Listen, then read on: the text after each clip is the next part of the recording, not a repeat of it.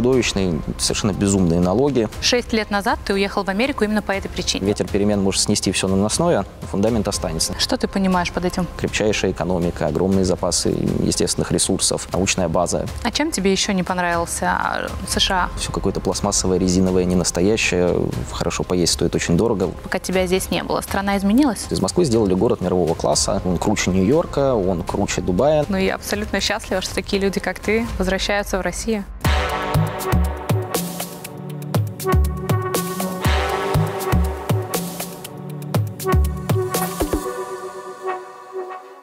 Это проект «Мы и они», и я его автор Мария Шахова.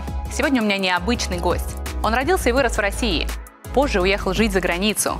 А сейчас решил вернуться обратно. Почему? Расскажет он сам. Максим Хайтович, 31 год, русский, высококлассный IT-специалист и победитель конкурса управленцев «Лидеры России». Шесть лет назад уехал из страны, чтобы получить MBA. Работал в крупнейших IT-компаниях США, Европы, Саудовской Аравии и Дубае. Несколько месяцев назад вернулся на родину. Считает, что у России прочный фундамент, однако стране не хватает мирового пиара. Максим, привет. Привет. Спасибо тебе большое, что приехал сегодня ко мне в студию. Ну, спасибо, что вообще пригласили. Максим, ты успешный IT-специалист. Ты родился в Мурманске, потом долгое время жил в Питере, а вообще потом вообще уехал жить за границу. Расскажи более подробно свою историю, почему ты решил уехать. Смотрите, какая история была. Я проработал довольно много лет в Петербурге. Сначала в сотовой связи инженером-программистом, потом почти пять лет таким IT-консультантом для финансовых корпораций мира. То есть у меня были крупнейшие вообще заказчики, финансовые организации, хедж-фонды, инвестиционные фонды из США, Европы, Азии. Поездил очень много в командировки за это, за это время. То есть там длительное время жил в Дублине, в Нью-Йорк ездил в командировки на внедрение наших программных продуктов.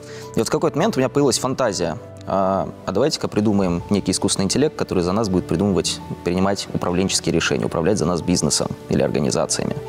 И вот тут я понял одну вещь, что у меня есть сильный технический бэкграунд, я хорошо разбираюсь, как технически эти системы строить. Но вот как работает бизнес, что такое менеджмент, как вообще организации функционируют во всем мире, ну, у меня представление было довольно слабое решил этот недостаток знаний у себя закрыть каким-то образом, и простейшим способом показалось получить степень MBA, магистра бизнес-администрирования.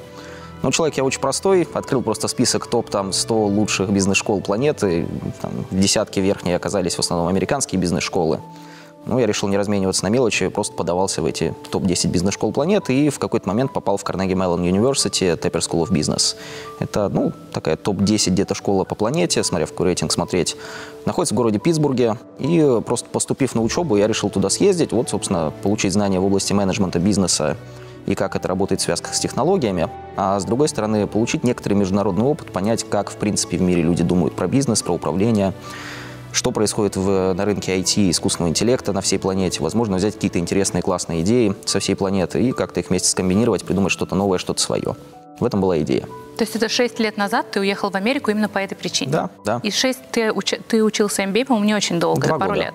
И ты решил там остаться? Ну, я получил предложение присоединиться на работу. То есть сначала я нашел стажировку между первым и вторым годом. В Чикаго поехал, в консалтинговую компанию, где я работал раньше. Компания Карни называется. Ну, довольно уважаемая консалтинговая фирма. И э, прошел стажировку получил предложение просто вернуться на полный рабочий день к ним же в чикагский офис наш. Вот в 2018 году мы с супругой поехали уже, думали э, в Штаты на длительный срок, именно в Чикаго. Но жизнь повернулась так, что дальше мы из Чикаго уехали, собственно, на Ближний Восток почти сразу. Почему? Ну, тут было несколько причин. Во-первых, э, честно скажу, могу там потом подробнее рассказать, но в США нам не понравилось. Ну, понял в какой-то момент, что прям не моя страна. Два года мне хватило за глаза, чтобы это понять.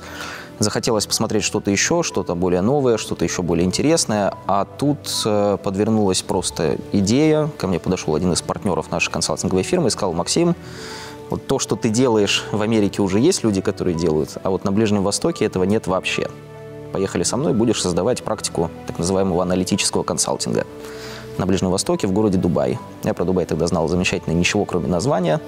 Ну и предложение э, рассматривал серьезно, но тут две вещи на меня повлияло сильно. Во-первых, жена жаловалась, что мы переезжаем из одного холодного города в другой холодный город, а Чикаго холодный. После чего я сказал, ну, солнышко, мы теперь переезжаем в пустыню, В принципе, будет тепло, как минимум. А вторая вещь, что налоги в 47% в Чикаго не добавляют мотивации, прямо скажем, там работать. В Дубае зарплата была та же, но без налогов. Поэтому это было достаточно легкое решение.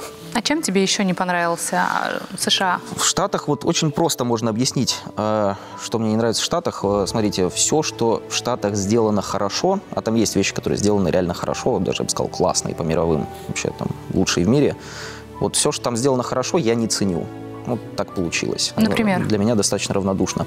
Ну, простой пример. В Штатах очень круто сделан публичный спорт. То есть, если вы любите ходить на стадионы, посмотреть на футбол, баскетбол, хоккей, там делают потрясающие шоу. Просто один пример. Второй пример. Там очень круто сделана возможность съездить на природу. То есть, если вы любите взять палатку, закинуть ее там в рюкзак за спину и поехать куда-то на пару дней с палаткой пожить в лесу, опять довольно равнодушен к этому всему. А вот то, что для меня важно, оно было сделано, ну, довольно плохо, прямо скажем. А что это было? Ну вот, например, во-первых, чудовищные, совершенно безумные налоги, причем сложнейшая налоговая система, ты должен сам свои декларации подавать, там постоянно эти игры с налогами происходят одновременно. Это первая вещь. А вторая вещь – еда. Честно, я очень люблю вкусно поесть. В России гораздо лучше. В Штатах, ну, да, есть бургеры, но все какое-то пластмассовое, резиновое, не настоящее. Хорошо поесть стоит очень дорого. Мы отойду в сторону, мы в Чикаго с женой ну, некоторое время прожили, и в итоге мы постоянно обедали или ужинали только в двух ресторанах, русском и немецком, который тоже был основан там иммигрантами из Российской империи давным-давно. Ну, просто как показатель. Ну и еще что, там очень плохо, если ты пешеход, я не вожу, я в жизни своей водил один ровно день и понял, что водить я не могу, я опасен для себя и окружающих, если сажусь за руль, поэтому без машины там довольно грустно. Если ты с машиной, то все круто сделано. Ну и последняя вещь, которая меня профессионально очень сильно доконала в некотором смысле, это в Америке очень сильный компонент ну, межличностных связей между людьми. То есть твой профессиональный рост, твоя карьера, твои успехи на работе очень сильно зависят не от того, насколько твои навыки по-настоящему сильные. Они очень зависят от того, с кем ты ходил в детстве в школу, в каких клубах ты состоишь, кого ты знаешь, какой цвет у твоей кожи, не знаю, какого ты пола, сексуальной ориентации, религии и всего остального. Эти вещи реально важны. Ну и самая последняя интересная вещь для меня как айтишника была, это самые продвинутые именно в IT-области вещи в Америке все равно делают русские, китайцы и индийцы, на самом деле. Как не зайдешь в любой Data Science отдел, отдел, где разрабатывают искусственный интеллект, пишут софт, ну, как бы только эти национальности и видишь. Местных там практически нет. Ну и все это вместе, оно как-то дает тебе понять, что в Штатах, конечно, здорово, но не для меня это не моя страна, и мне там особо делать как бы нечего. За пару лет я это понял, увидел все, что я хотел увидеть, получил те знания, какие хотел увидеть, познакомился с людьми самыми разными, интересными, неинтересными, приятными, неприятными, ну и понял, что надо идти дальше. Вы переезжаете в Дубай? Да. Что было там так, не так? Дубай – удивительное место. У меня было ощущение, что я переехал на другую планету. Вот честно. Это другая цивилизация, надо это сразу понять. США – это англосаксонская цивилизация, мы с ней более-менее хотя бы как-то знакомы. Это как в Англии, как в США, как в Европе. Ну, более-менее мы ее легко понимаем, как жители, как минимум, европейской части страны. А вот Ближний Восток и Дубай конкретно – это мусульманская страна, ну, скажем прямо, это ближневосточное государство с совершенно другой историей, совершенно другой культурой, совершенно другим климатом. Главное отличие, какие я заметил. Ну, во-первых, это очень консервативное и религиозное общество. Это не плохо, не хорошо, это просто факт. К этому надо быть готовым, к этому надо быть привычным. Когда ты ставишь встречу, как будто в календарь, давайте поговорим там, с главным инженером, не знаю, какой-нибудь организации про некий вопрос, надо быть очень осторожным с тем, когда ты ее ставишь, потому что, возможно, это время молитвы, ты про это можешь не знать. На встречу не придет, ну и вообще, в принципе, это считается неуважением. Да. Ты должен все-таки знать, когда человек не может быть доступен для встреч. А, помимо этого, общество очень иерархическое, вот правда. То есть э, там очень сильно важным является, кто чей начальник. А, прыгать через голову не принято, это считается некрасивым, неправильным. Начальство должно быть в курсе хорошей работы, которую делает их подчиненный. Начальство должно быть в курсе плохой работы, которую сделал их подчиненный тоже европейские или российские организации, они более матричные такие. Там человек может иметь массу связей вокруг себя с другими отделами, людьми, параллельно находящиеся ему, которые ему непосредственно не отвечают. На Ближнем Востоке ну, связи, они более такие иерархичные. Все идет вверх, потом спускается вниз. Параллельное общение друг с другом из других отделов идет очень тяжело. А как относится к иностранцам? А, Дубай очень ну, friendly, очень дружелюбен к иностранцам, потому что, напомню, в Дубае и вообще в Объединенных Арабских Эмиратах местное население меньше 10%. Оно меняется от года к году, но вот вроде меньше 10%, последнее, что я помню. 90% иностранцы. Кстати, тоже мало кто знает, но в Дубае порядка 45% населения – это э, выходцы из индо- индийского региона, то есть Индия, Пакистан, Бангладеш.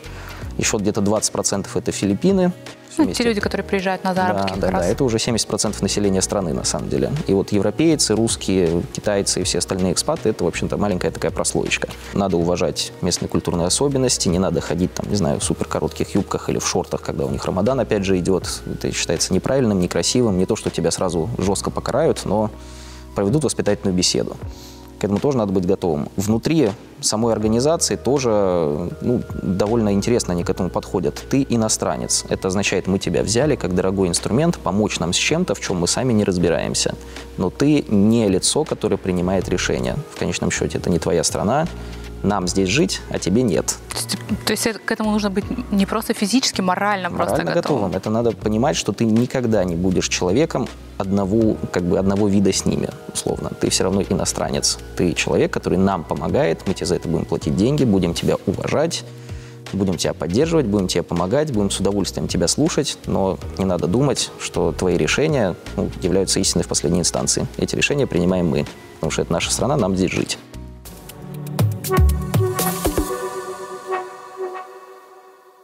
У нас сейчас в России появилось такое модное слово, как релокация, и многие IT-специалисты переезжают за рубеж. И большинство из них мечтали бы о такой карьере, которая была у тебя, а, закончить MBA, быть приглашенным специалистом в Соединенных Штатах Америки, после там уехать в Дубай. Но ты выбираешь для себя Россию. Угу. Почему? Я всегда думаю просто на 10, 15, 20, 30 лет вперед. То есть есть тактические шаги, которые ты принимаешь здесь и сейчас, ну, в своей карьере. Например, поехать, поучиться в Штатах, потому что это даст мне какие-то там, важные знания, понимание мира, позволит понять, что происходит ну, в стране, которую так сильно пиарят, в общем-то, в мире. Потом поехать на Ближний Восток, посмотреть сравнить две разные заграни... два разных заграничных государства, два разных общества друг с другом. Потому что на сравнении можно понять, чем страны друг от друга отличаются, что похоже, что не похоже. Но это тактика, это все шаги здесь и сейчас, которые можно планировать в масштабе пары-тройки лет, не более. На 10, 15, 20 лет вперед, когда заглядываешь, то смотришь, ну, и оперируешь совсем другими цифрами, другими понятиями. И здесь шаг вернуться домой, он всегда был в планах. Помните, я говорил, что рано или поздно ты упрешься в какой-то стеклянный потолок. Наступит тот момент, когда будет, будут приниматься такие решения, которые уже влияют на все государство, например, или влияют на всю индустрию, или влияют на всю компанию.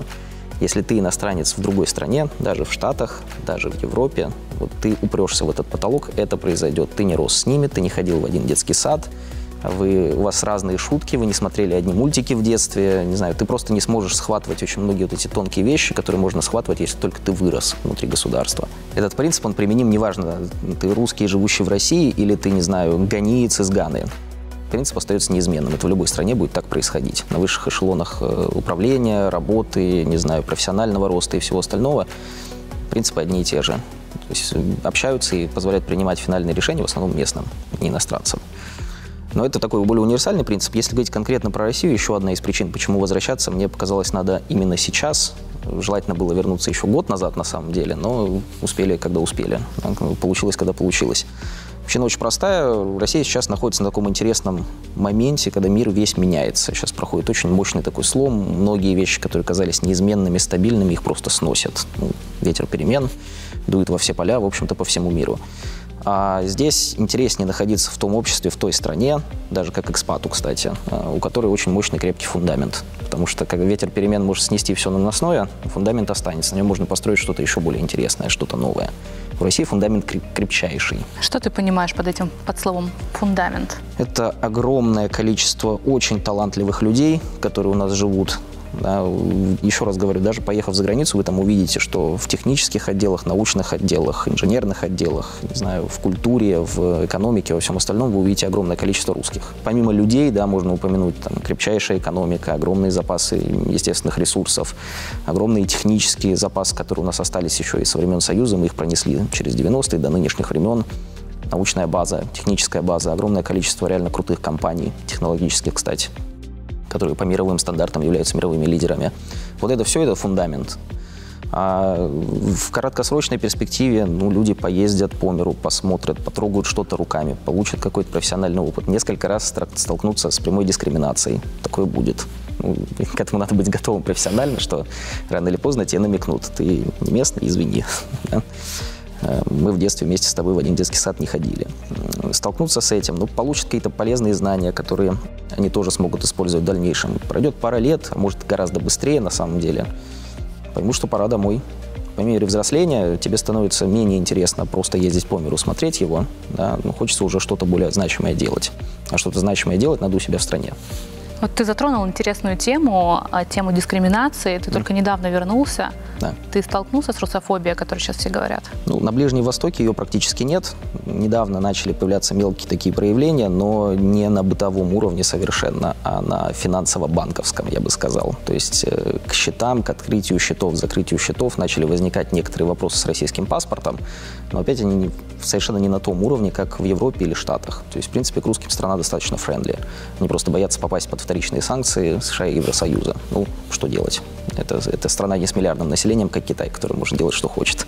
Ну, у тебя наверняка остались русские друзья в Европе и Америке. Что вот, они говорят про э, русофобию? Про Европу, Штаты с этим гораздо сложнее. То есть русофобия, она была в некотором смысле в США еще там 4, 5, 6 лет назад, когда я там был, потому что люди не понимают, какая у нас страна. Вот я могу говорить больше про Штатов, не про Европу на самом деле. Mm-hmm. В Европу я был в Дублине, но не очень длинный срок.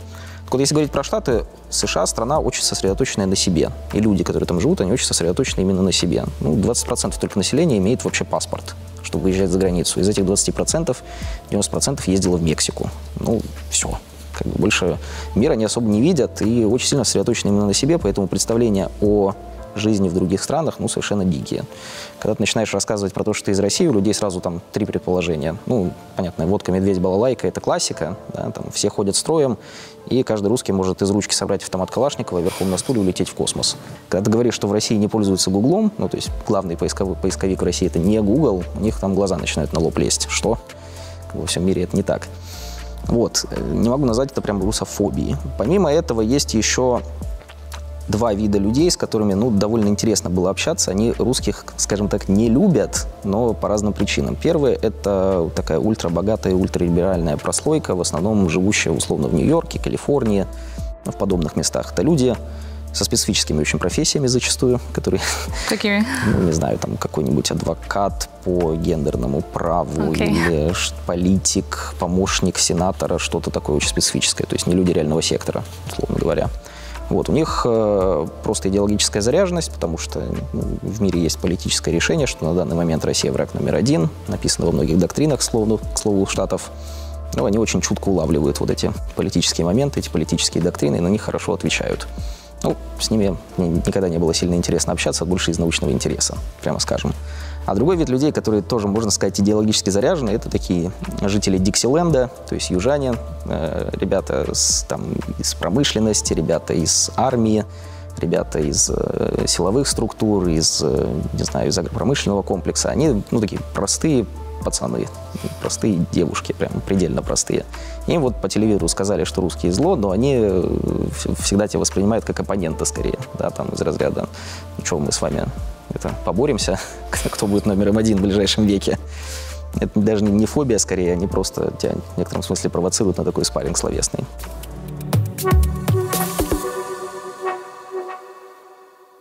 IT – это не просто мода или стереотип лучшей профессии, а острая необходимость. В 2022 году для айтишников в России приняли целый пакет указов, которые облегчают и улучшают их жизнь. Также была запущена система льготного кредитования по ставке не выше 3% годовых и упрощенная процедура найма иностранных сотрудников. Примера таких масштабных единовременных мер мир еще не знал.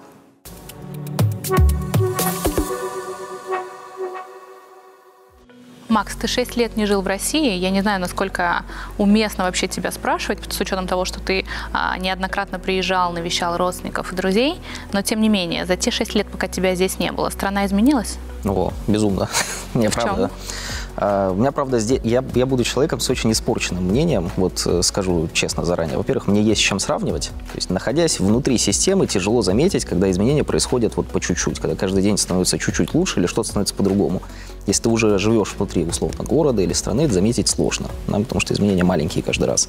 Когда ты исчезаешь, например, на год и возвращаешься через год, видишь так, хоп, поменялось очень много. И вот из Москвы сделали город мирового класса, там, он круче Нью-Йорка, он круче Дубая, на самом деле, по совокупности всех параметров, если вместе, вместе их взять. Это вот один из топ там, 10-20 городов планеты, в принципе, по значимости, комфорту, крутизне, развитости и всему остальному. И э, вот этим городом из топ-10, топ-20 списка в мире он стал, в общем-то, за последние 10 лет, прямо скажем. Не знаю, 10-15 москвичам видней. Раньше он таким не был, по крайней мере, как я помню, по 2011 году. Вот, страна в целом очень сильно улучшилась да, за, за а эти в чем 6 конкретно? лет. И если переходить вот к этому интересному вопросу, можно много говорить про то, как у нас круто развелись айтишные технологии, там, в госуправлении у нас стало гораздо круче, ну, госуслуги вспомните, насколько, насколько удобно. Сейчас этого в мире нет. Можно говорить, там, продолжать говорить про IT, например, что я могу в метро в Москве заплатить лицом. Вообще такого в мире на планете, я, по-моему, только у китайцев знаю, такое есть, вроде Сингапуре. А, но это все такие технические вещи. Ну, люди сделали, построили, это круто, здорово, классно, но оно это наносное условно. А вот то, что произошло, большая перемена, которая произошла внизу, да, вот в фундаменте, а, русские стали себя любить больше. Вот раньше мы, ну, исторически наша страна последние 30 лет много работала, 20, наверное, много работала и тяжело жила, прямо скажем. Да, для каких-то излишеств, приятностей, красивых вещей, красивой жизни, вкусной еды и всего остального, ну, не оставалось ни времени, ни сил, да и никто не задумывался над тем, что это нужно, что это полезно, что это хорошо, что себя надо любить. А вот за последние, не знаю, даже 6 лет мне показалось, ну, мы начали себя любить гораздо больше, и это очень правильно.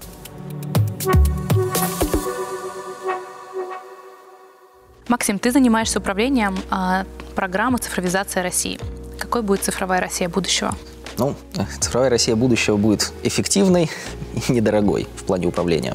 Мы постараемся сделать так, чтобы, а, государственное управление было цифровизированным, вот целиком. Вот что это значит на практике? Ну, максимальное количество вещей вам не надо будет делать с помощью бумажек. Вам не надо будет никуда физически ходить в офисы, писать от руки какие-нибудь заявления. Все, по-хорошему, все это должно происходить, во-первых, либо с ваших смартфонов, либо с ваших телефонов. То есть госуслуги на максималках Прямо просто. на максималках. Это госуслуги даже не 2.0, а 10.0. Вот прямо скажем, в этом будет идея э, ну, довольно большой программы развития государственного управления.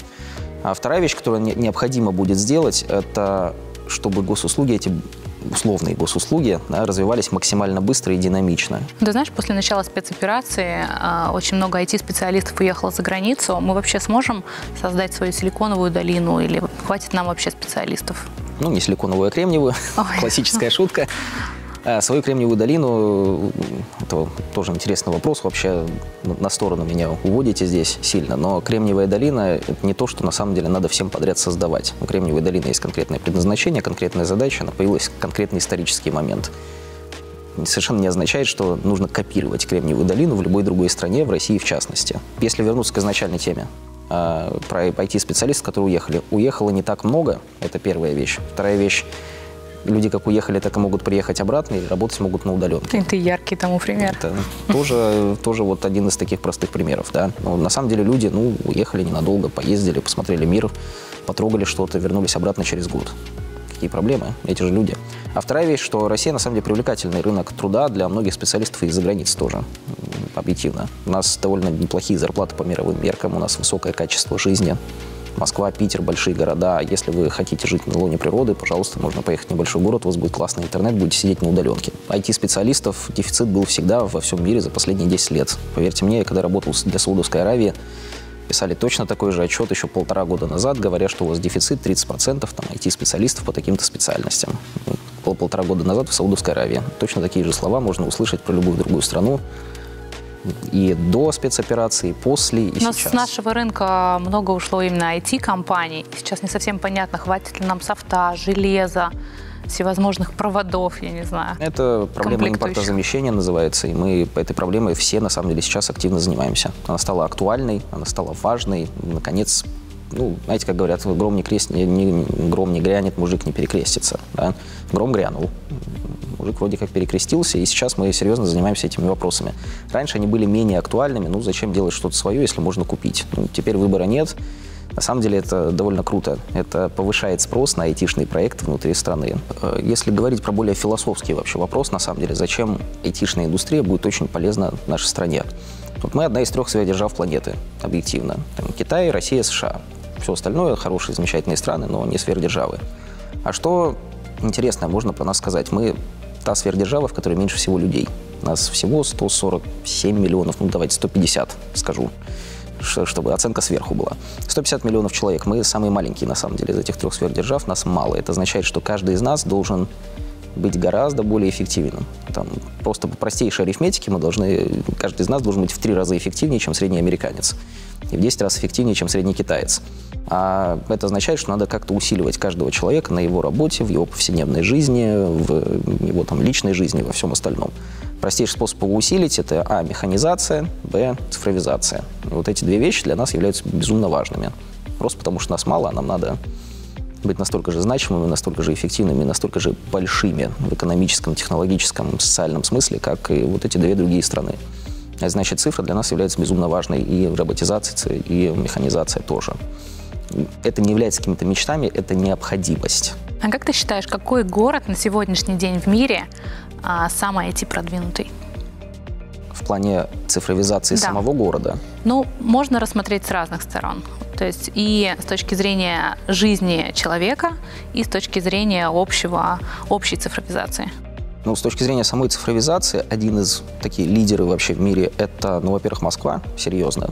Потому что когда мы, как консультанты, кстати, делали исследования для разных государств Ближнего Востока, про то, кто является лидером в э, применении цифровых технологий в управлении городом, в цифровизации государственного управления. На самом деле Россия один из лидеров, да, и Москва вообще находится где-то в районе топа. Если же брать э, более широко вопрос уже про все государство целиком по совокупности, то, наверное, одним из лидеров в мире в цифровизации является Сингапур, а, потому что ну, государство маленькое, прямо скажем. То есть цифровизировать государство есть цифровизировать один город, по сути. Это делать немного проще. Но они из-за этого ушли ну, несколько дальше, чем, в принципе, вся планета. Мы их нагоняем, Москва как минимум их нагоняет, но Очевидно, очевидно, это еще займет некоторое время, просто из-за несопоставимых размеров. Москва больше по населению, чем весь Сингапур целиком. А, вот. А если же говорить именно в плане жизни как IT-специалиста в определенном городе, а вот если я айтишник и я хочу где-то себя разместить, то тут тоже зависит от того, что я ищу. Да? Если я ищу ну, челленджа, интересных каких-то задач, крутых, по-настоящему прорывных, там, хочу цифровизировать космос, не знаю, хочу разработать беспилотник для исследований, не знаю, космических пространств, ну, какие-то такие фундаментальные вещи исследовательские, то, в принципе, такими городами, я бы сказал, во-первых, Китай, страна, которая вкладывает огромные деньги в научные фундаментальные разработки, просто потому что ну, это огромная экономика, насколько я помню, уже первая в мире. Огромные деньги можно позволить себе вкладывать именно в эту фундаменталку. Также, разумеется, в России это становится более актуальным, просто потому что к вопросу про импортозамещение. Если вы хотите что-то импортозаместить, вам априори придется опускаться на более низкий уровень.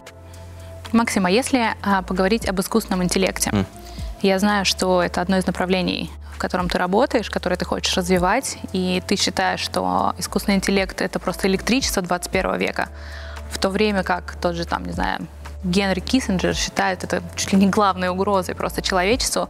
Ну и мы все, наверное, обычные люди, насмотревшись каких-то голливудских фильмов, mm. наверняка думаем, что как только искусственный интеллект а, войдет просто в нашу обычную жизнь повседневную, то может случиться просто невообразимое. Mm-hmm. Так это или нет, и почему, собственно, для тебя это вот настолько важно? Начну со второй части про э, страх перед новыми технологиями на самом деле. Ну, искусственный интеллект уже вошел в наши жизни повседневно абсолютно прочно. Если у вас есть в кармане телефон, если вы хоть иногда пользуетесь интернетом или если вы хотя бы ездите на метро, он там применяется. Да? Применяется для планирования транспортных потоков, управления транспортом, он применяется для управления поисковыми движками, которые вы используете, когда в Яндексе что-то ищете, применяется в вашем телефоне. То есть он уже на самом деле вошел в вашу жизнь, сопротивление бесполезно, вы уже проиграли. Если же вернуться к изначальному вопросу, почему и вообще важен, в принципе, почему я считаю, что это новое электричество, и почему он особенно важен, на самом деле, внутри нашей замечательной страны, причины тут простые. А, помните, я говорил, что нас мало. Вот нас просто всего 147 миллионов человек, и каждый из нас должен быть в 10 раз более эффективен. Это означает, что нас надо как-то усилить, нам надо помочь. Чтобы нам, каждому из нас помочь, надо снимать с нас какие-то рутинные проблемы, рутинные задачи, которыми мы можем заниматься, которые не требуют применения каких-то там, креативных навыков, умения применять нашу интуицию, думать на будущее и так далее. Всю рутину надо сгрузить на что-то. Вот это что-то, это и есть, а, искусственный интеллект, б, роботизация. И тратить силы надо на то, ну, в чем вы хороши, что вы умеете делать, что у вас по-настоящему получается. А если мы вот настолько упростим все эти системы, мы не, перестанем быть людьми? А вот это уже философский сложный вопрос. И вот как себя здесь не потерять, как человеку не потерять самого себя, да, не перестать быть человеком, это уже вопрос скорее к философам, к людям культуры, к писателям, к авторам фильмов, это они должны уже подумать про то, как нам сохранить человека и что такое человек там, в 22 уже веке условно, когда мы дошли наконец до такого уровня развития этих технологий. Это культурологический вопрос на самом деле. Можно ли себя потерять в этом во всем? Да, безусловно, потому что когда мы сгружаем себя всю рутину, э, мы надеемся, что мы начнем прикладывать свои умственные силы для занятий какими-то творческими задачами, интересными вещами, не знаю, будем тратить себя на то, чтобы жить полной жизнью. Но наш мозг ленив, вполне есть шанс того, что сгрузив в себя всю рутину, мы просто будем деградировать, ничего не будем делать. Такой риск всегда есть. Расскажи, по каким блюдам ты больше всего скучал, пока жил где-то там за океанами? А, у меня каждый раз, когда я приезжал э, в Питер или вообще, в принципе, приезжал в Россию, ездил к родственникам, всегда было два запроса. Да? Первое – борщ э, с салом потому что свинина, свинина это харам, на Ближнем Востоке она есть, в принципе, да, для экспатов, но это редкость. А, то есть это вообще первая же всегда была вещь, которую я просил. А вторая вещь после борща, это был обычно какой-нибудь свиной шашлык. Потому что вот именно шашлык-шашлык, который именно вот сделан как на мангале, на шампурах. В России, к сожалению, только в России можно его поесть, а вот за границей с этим несколько проблемнее. Вот это две вещи, по которым я всегда скучал. Ну, переехал ты совсем недавно, Да. поэтому какие-то вкусы мог подзабыть. М. Я предлагаю тебе угадать, какое блюдо я тебе сегодня приготовила. И С Попробуем? удовольствием.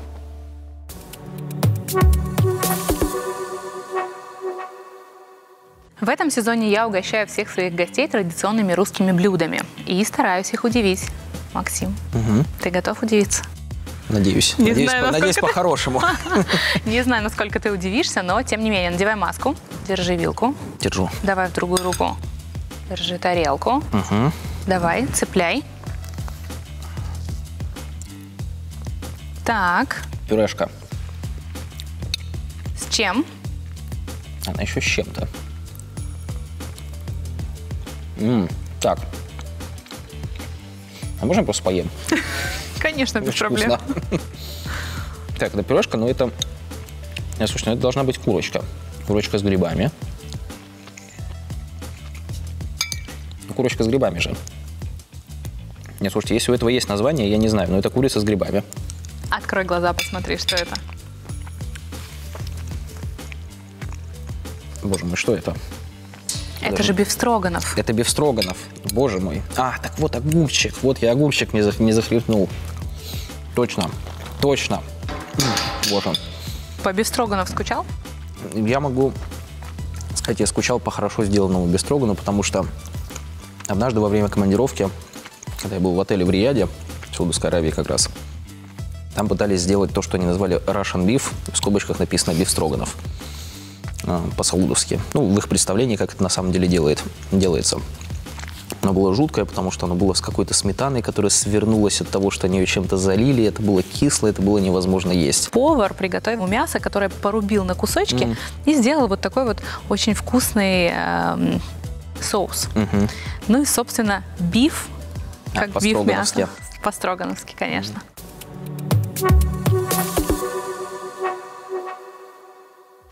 Максим, хочу немного поговорить с тобой о личном. А, Ты переезжал в Америку и в Дубай вместе со своей супругой.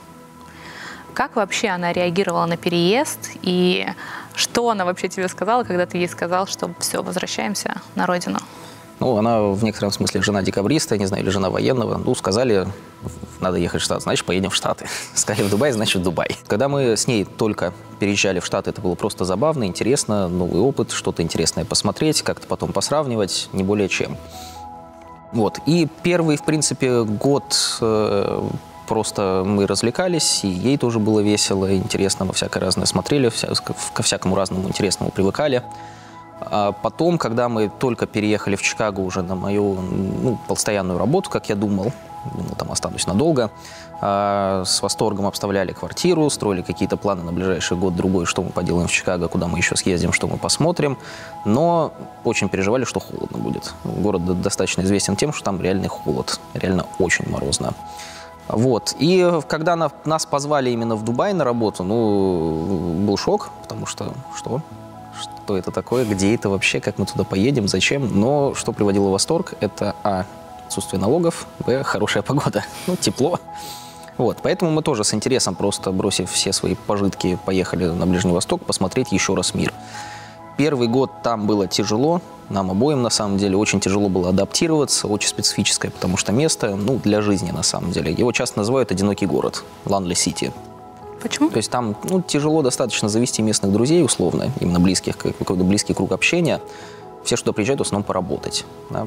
Потом поработать, повеселиться, уехать. Как мне один умный человек, который там прожил 27 лет, ну, он там в детстве еще его туда привезли родители, мне сказал, что идеальная метафора Дубая – это лаунж в аэропорту. Но мы все равно всегда хотели вернуться домой, то есть мы понимали, что конечная точка маршрута – это вот переезд обратно. Никакой идеи, что мы там навсегда, никогда не было. Ты знаешь, во всем мире люди говорят о нашей душевности. Mm. Вот ты, повидав а, много стран, mm-hmm. познакомившись с самыми разными людьми, ты заметил вот эту нашу особенную черту?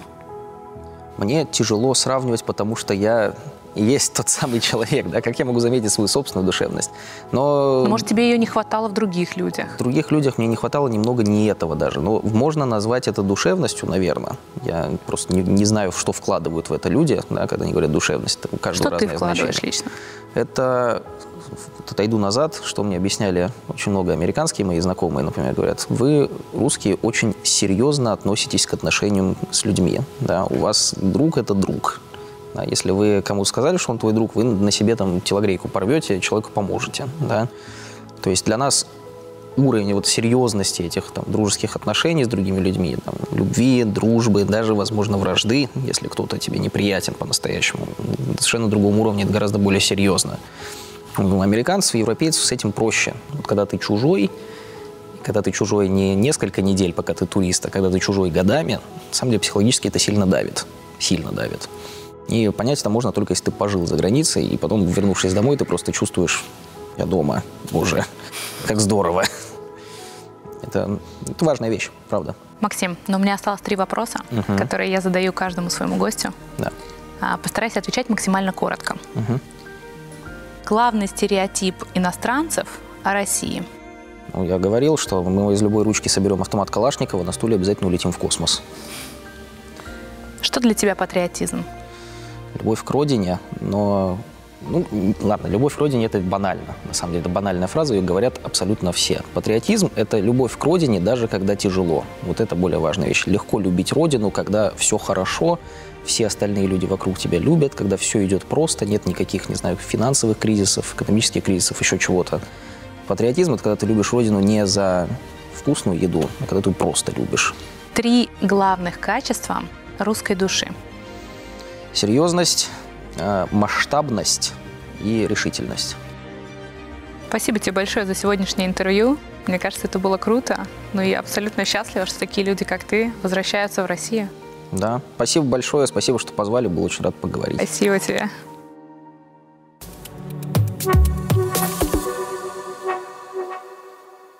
Это проект «Мы и они», я его автор Мария Шахова. Подписывайтесь на наш канал, ставьте лайки и обязательно пишите комментарии. И помните, хорошо там, где мы есть.